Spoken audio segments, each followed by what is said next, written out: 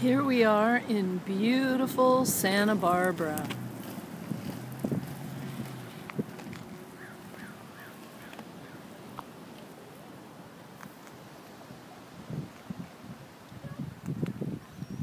It's a beautiful warm day on Thanksgiving.